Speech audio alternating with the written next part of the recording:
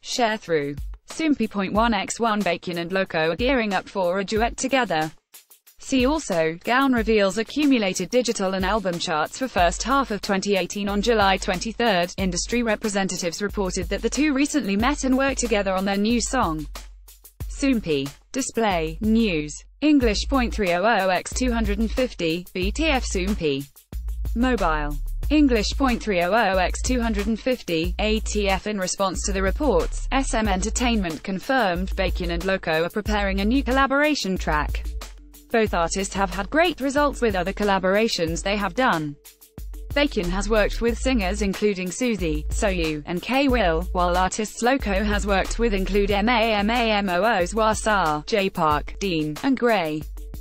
However, this is the first time that Baekhyun has worked with a male rapper and that Loco has worked with a male idol vocalist, raising anticipation for this unique combination. The release date for Baekhyun and Loco's collaboration will be revealed later on. Source 1, 2